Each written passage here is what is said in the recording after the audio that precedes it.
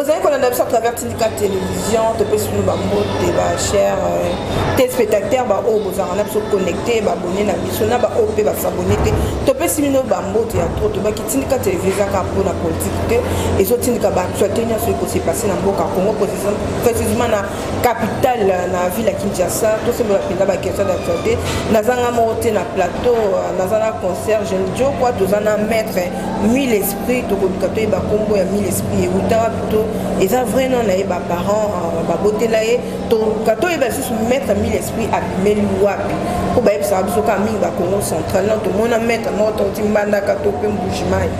tokosola na maître esprit tokolobela makambo ya kodia tokolobela baportemone magie tokolobela spiritualité tokolobela lobela lobela mpenza ebele ebele wana napesi maître mille esprit moke bonjour bonjour boni santé santé vraiment très très bien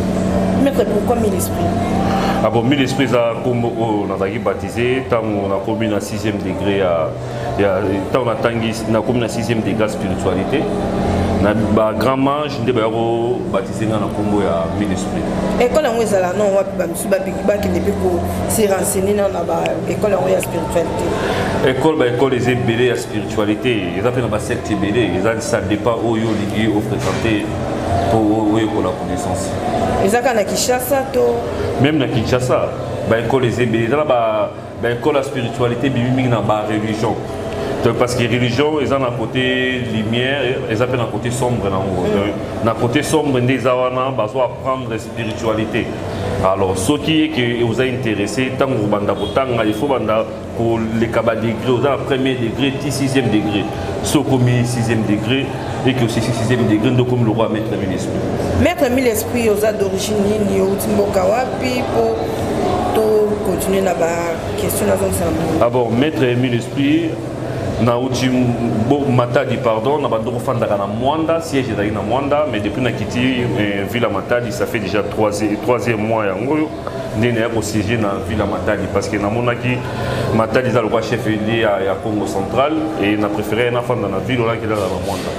boutaka kaka bamatadi bacongo central bozalaka kaka kuna me baaksida mpe na nzela ezosila te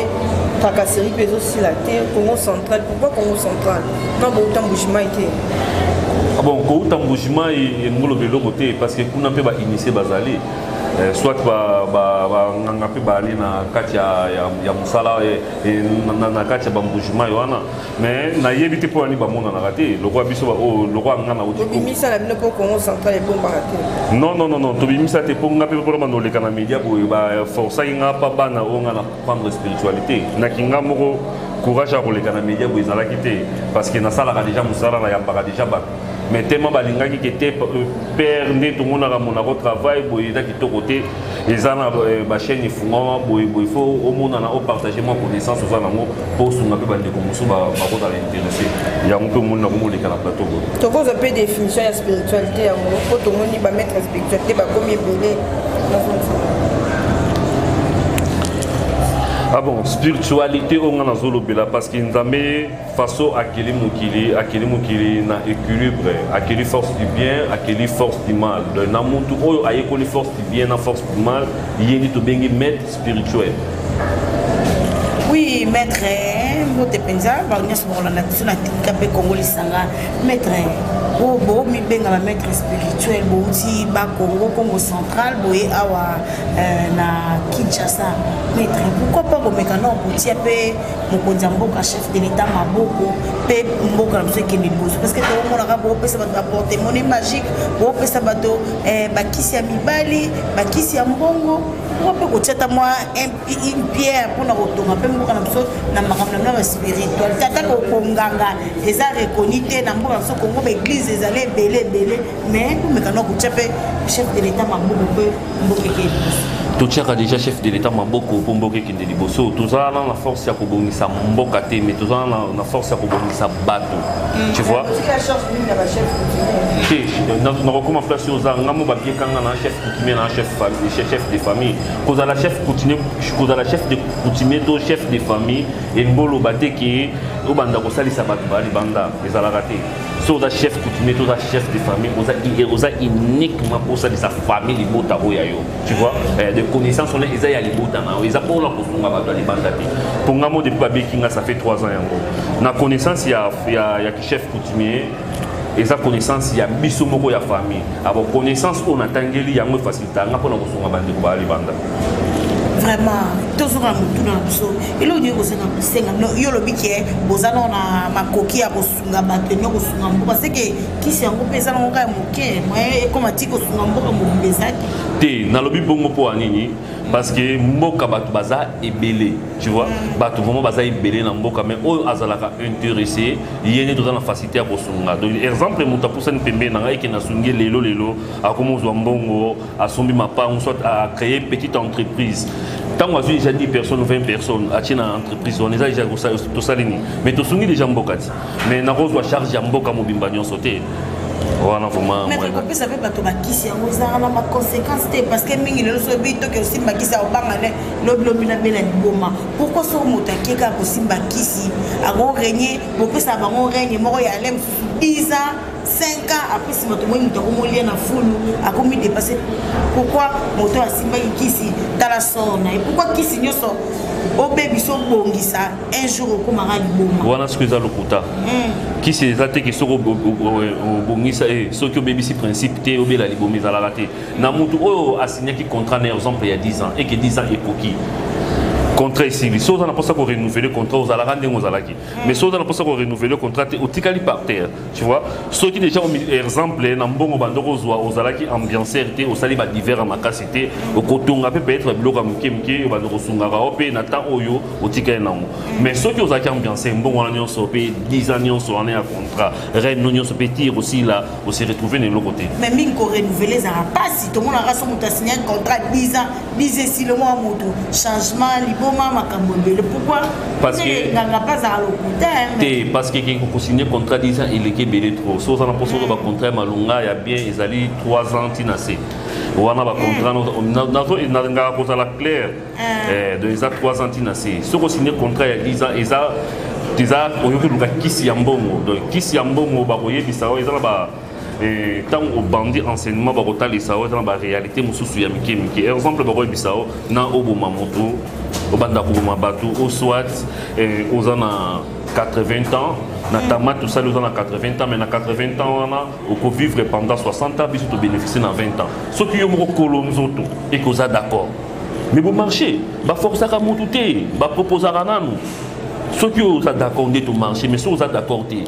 seke totiki ezalaka nde bongo oui avant napesa concert nanga kati ya voka maloba maître mikala kobeta biso lisolo ya porte monnaie magique oyo bato mingi omona lobilobi laki osimba porte magique ya lobilobi suka yango mpe ezalaka kaka mabe est ce que moto nyonso esengeli azwa porte monnaie magique est ce que moto nyonso asengeli asimba kisi na vi na ye mpo bamosusu okake e biso na fami mosusu tosimbaka kisi te so osimbi kisi eza obela liboma mosusu mpe boke na baninga kosimba kisi omona nganga bimisi yo yo bima yo awa te ah bon parce que eza na bato mosusu bapesa bango eh, eza na baancetre na bango batika deja liloba ke okoki kokota ndako ya nganga te donc okoki koderoute te sikoyo soki oza eh, eke oza na mposa ete toujours ozwa eloko wana tosalaka siko appel ya baancetre na bino wana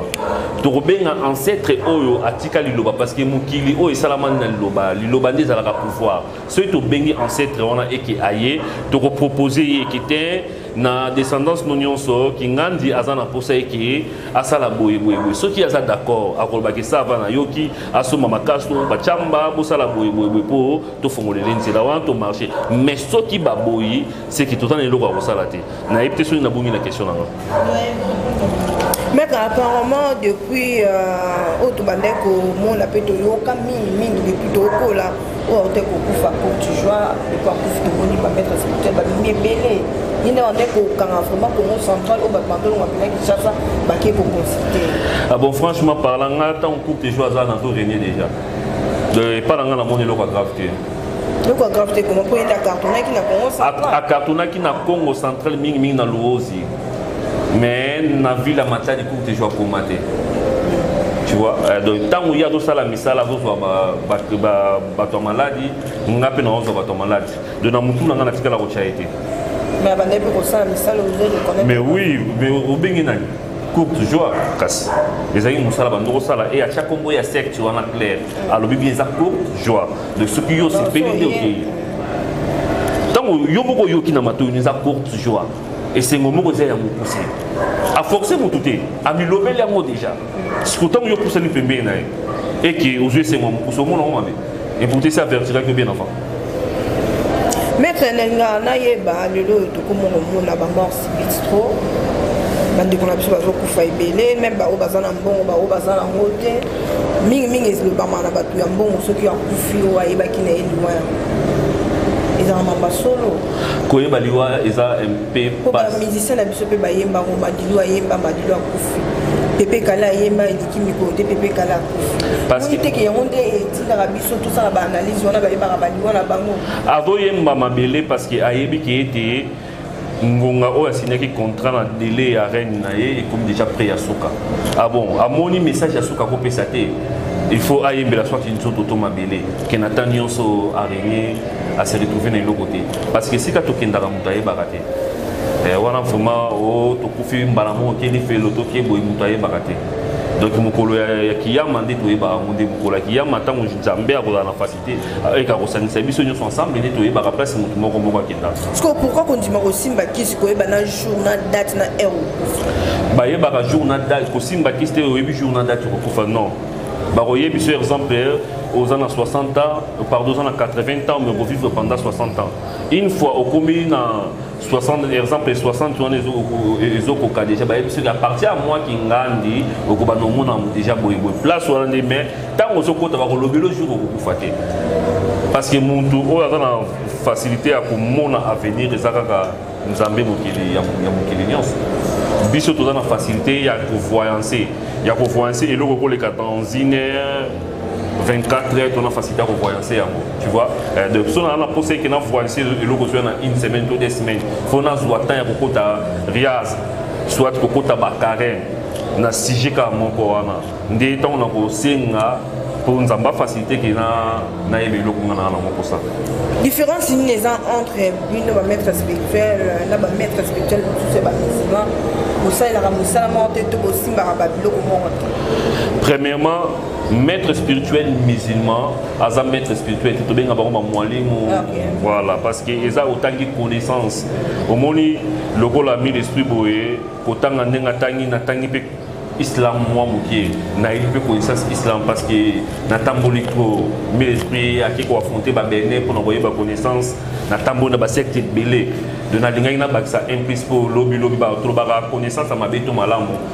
luka ozwa yango mpo oyebi mokolo kosunga yo te tu vois ah bon nayebi te soki na échappe mwa moke na question nango meka mais kishasa yango mpe namoni ya lire tozokende ozongisi nga susu okenda biso ka lokola babene yango kala mingi te tobakomona mpena batandi baotekela biso kisi soko ya ezalaka déjà liboma ezalaka déjà ezalaka déjà mpo na na biango bene eza na wenje te okende omona yango meme na point nondi balobaka sibiti batekaka kisi na balabala yango ezalaka te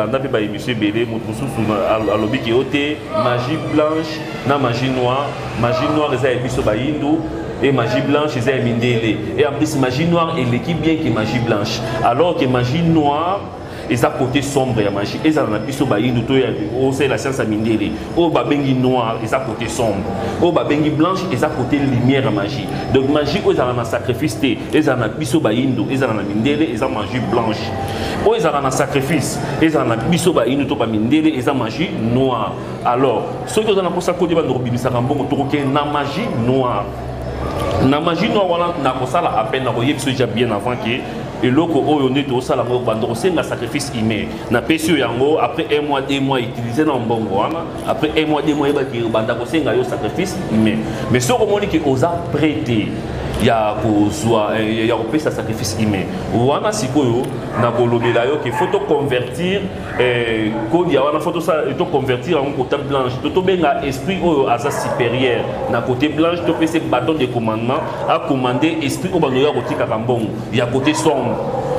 alors soki totie liboso wana ye ntango abandi kokomande esprit wana esprit wana ye moto akondi kotikela ko mbongo na kodi ya mpo bando kosala babesoin oyo oza nango mposa alors esprit wana moyen azwa su courage ya kosenga sacrifice humain ekozala te esprit supérieur oyo totie ye nde moto akosenga o sikoyo offrande mpo ya ye bofrande yango eza sans lokola nini bachamo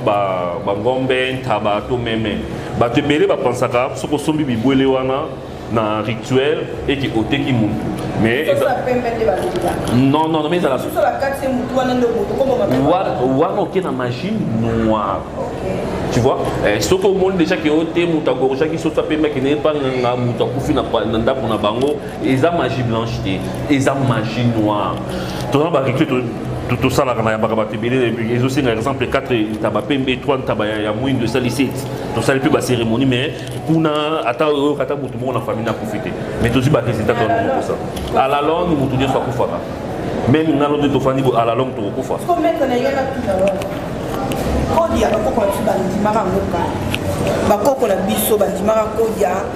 mpo baservi wana bayebaka na bango nzambe te lelo biso nyonso tokoma bachrétien tolandaka chemin moko lelo ekoma meme na, na famille kode ekomi kotelengana bayebi moto akopesa te oyo oh, un azwa te oyo oh, on azwa te mpo bazwaka chance ya motu moko bapesi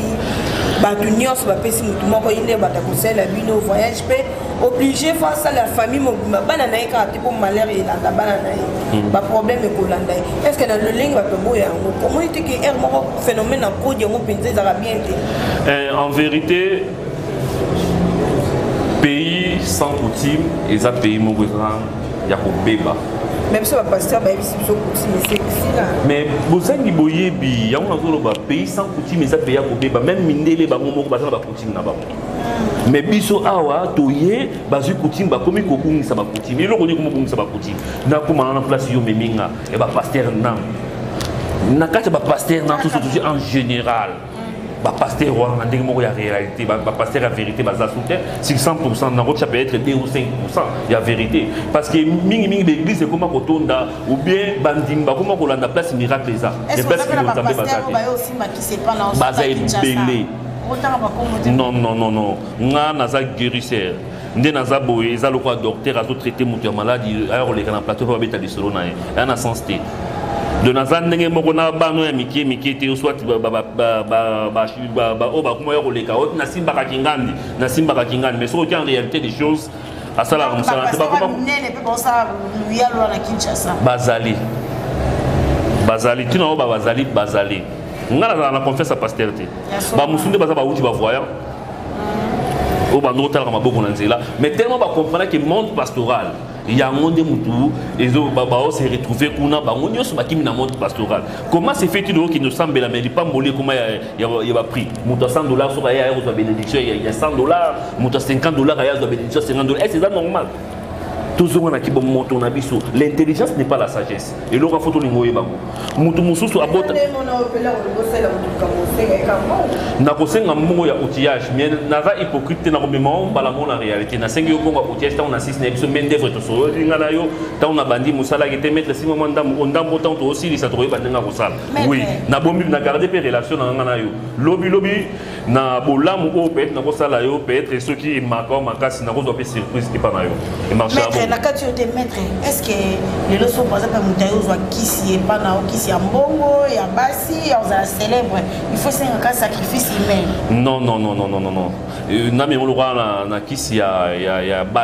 si eza tobenga yango bakisi mo ezalaka bapepinière abongo ya mbongo moto mule mosu alingi akoma poste mo ministre o député te elekisaka papa mama lucifer epesaka moto olingaka mingi mama lucifer en personne na mokili oyo il faut oyebaka eza mbongo oyebi yango ah mbongo nde tofandi boye soki moto moko akoti akabeli biso 10 000 dollars eke nalobi ke nakangi yango je crois ke nde tofandi boye tokobebana alors que euti libende euti libende ekomi papier papier wana tokokota mpe na toilette nasali beso mpe na pangoseli yango mais tala ndenge tobombaka yango mbongo efutelaka te mais ezangaka ndako te moto nyonso tu na mokili oyo alukaka kaka mbongo landa adage bamindele balobi bayebi ke nzambe akeli mokili balobi lo c'est la vie mais na sagesse na bango bayo bakisela yango sans l'argent on ne peut pas vivre donc eloko wana croyance wana te mesi tondimela lite eloko wana etikala bongo de force du mal satan en, en réalité boye eza mbongo alors okozwa mbongo te eke osali basacrifice te mpo ozwa mbongo non soit toke na côté blanche somba banombre ya bibwele oyo baentité bakosenga yo soki basengi yo 3 3 soki basengi yo 9 9 soki basengi yo 7 7 soki mpe 12 12 yo somba yango bongo ozwa mais soki omoni ke koto na kosimba te ndima sacrifice humain mpo baforsaka yango te maître tokokosa so moke moke na suka émission na biso maître mille esprit outi congo central na bandi kuna na congo central c'est comme si tomona biso nyonso kimi eza te na bagouverneur na bino tomoni gouverneur atu akenda akima eh, justin akosala intérim malgré bakangaki na makambo ebele ebele mais lelo oyo moko mpe ya moto na bino papa na bino spiritualité mokolo gudu dia kongo papa na biso ne mwana nsemi ye aye kuna auti kosala campagne moko monene ya spiritualité alobi asimba kongo central e ozabi malamu mingi moto aza na makambo ya spiritualité moto ayebi nde omibenga voya asimba eh, province yango ekozala malamu mingi premièrement mpo na nga eza mabe te mm. eh, parce que aza na makasi kota spiritualité mais eloko nakoloba esprit ya dictature nde il faut elongwa eh, esprit ya dictature nde elongwa mais kopostile na ye mpo azala wana na kota spiritualité na savoir euh, vivre na ye eza nango mabe te mais dictature nde il faut alongola yango soki alongoli dictature namoni eloko ya grave te soki olingi kota bagouverneur soki oyo awuti wana atuna wana mosusu makambo ya politike vraiment nalingaka kokota ngo kati te nakota kati se ndeleli bino bokopesa bapoliticien makambo opesa bango bakisi obo osimba domaine wana te topesa bango makambo soki moto aproche yo tu vois po nakutana na bato mosusu amoni ngai na mwana na ye to na petit frère na ye agele ngai na miso ya bato bato vraiment batondi okomona mpe yo mpo koloba mais ozwi toujours maîtrise na butu ozongi na ndako na butu ya kotoki oya koluka yo ke nazalaka na mposa ya mwana na ngai botambolaka na ye to bien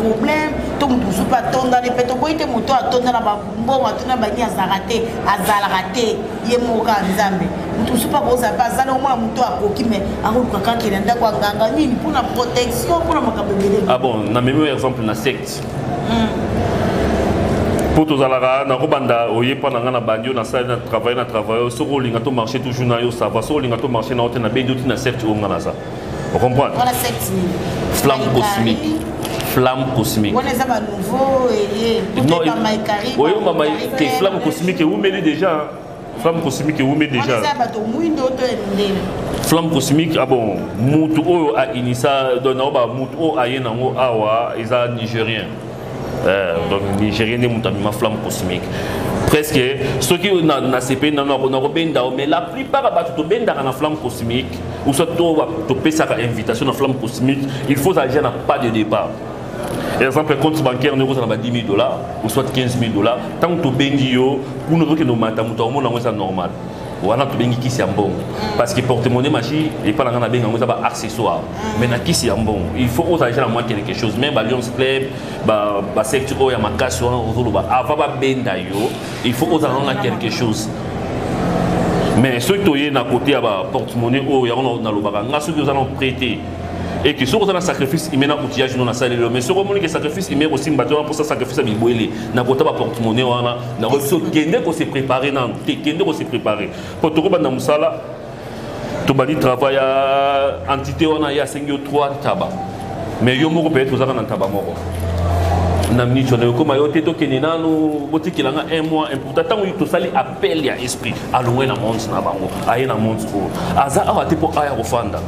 fo toluka tozongisi na monzo wana sikoyo ntango yo olingi obomba ye exemple un mois awa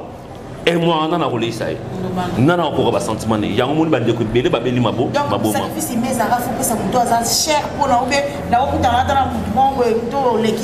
ah bon balobaka vrai soldat avant obanda kokanga eh, avant baconfirme oza vrai soldat fo kangana ata ndeko na yo to camarade na yo moko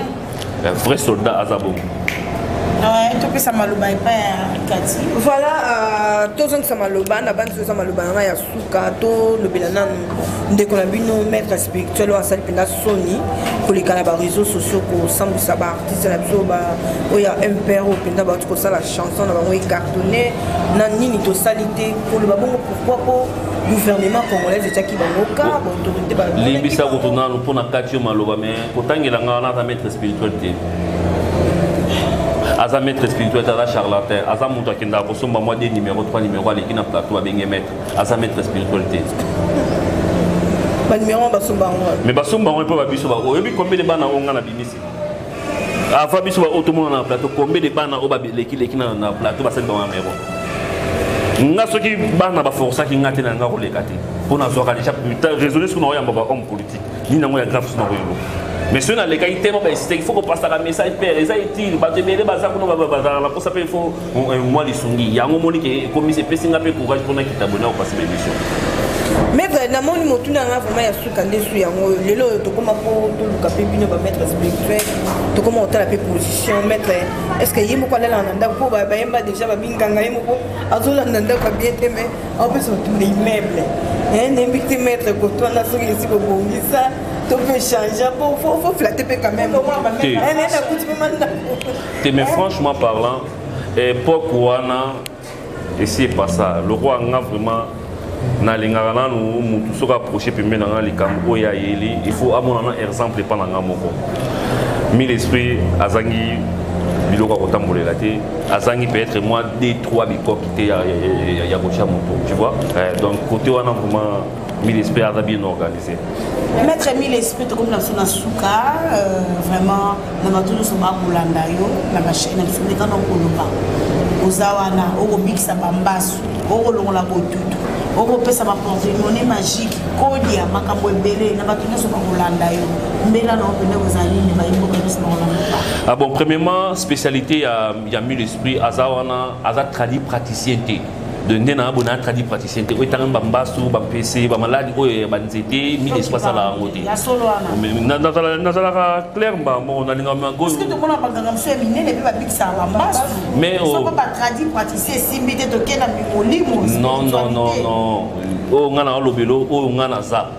mm. ocomprendre na kofocalise na misala mibale misato te mpo yango omoni bamosusu avane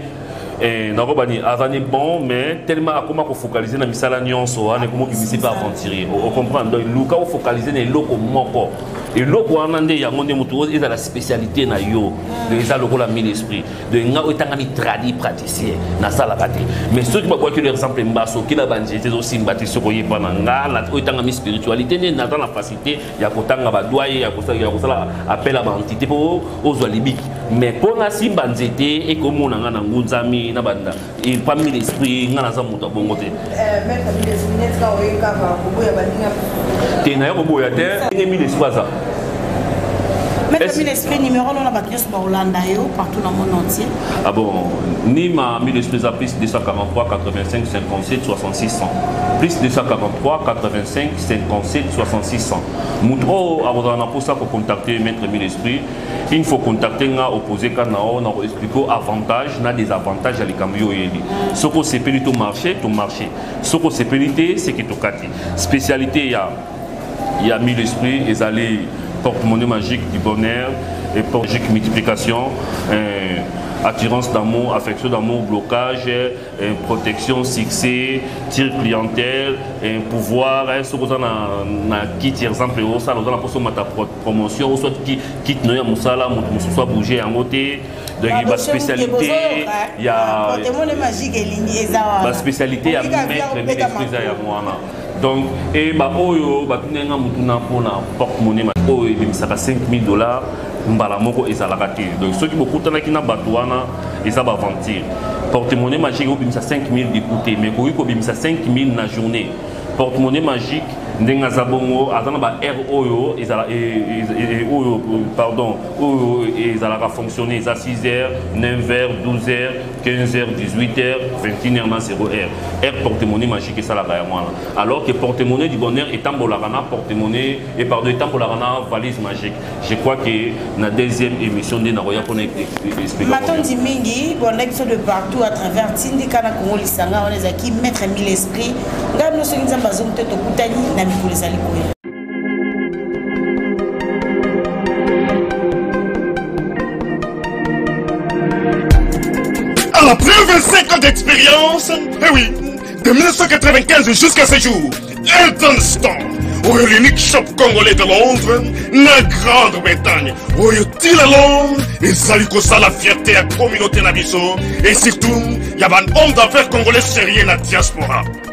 Oh yes, yes, yes, yes. Secret Item Store ezali kaka moko. Le serieux accueil na service kitoko na bakliya na ye. Avec baproduit na ye oyo ya première classe ya qualité supérieure oyo nde mabombami ya Eden Store. Oh yes! Mokili mobimba yeba! Ba mama ya Londres ba confirma. Eden Star, c'est le berceau des produits cosmétiques. Ya solo, produit original. Et yes, ezali mpe berceau ya produits alimentaires naturels mpe organiques. Au travers de nos produits cosmétiques, Eden Store détient le secret. Secret ya solo oyo ya poso ya mama mwasi kitoko poso ya mwasi oyo mpenza bazali kolula poso ya mwasi oyo mobali akotala ye alemba te poso soki otamboli masanga nsima ewi eh hey, yango nde baproduit ezotekama na kati ya eden store na baproduit alimentaire mpo ya eden store yango nde secret ya cuisine ya mama congolaise ewi eh hey, nyonso ekosepelisa mobali na yo ezali pondu matembele ngaingai ndole fumbwa ndunda bilembwe oyo nyonso mpenza oyo ekobonga mpo na cuisine na yo ezali oh yes yes yes olingi mobali na yo asepela na yo libela na libela olingi mobali na yo atalaka yo lokola mwasi azali kolula sika oh yes olingi mobali na asilisa biloko nyonso otyelaka ye na mesa sekre ezali kaka moko etan store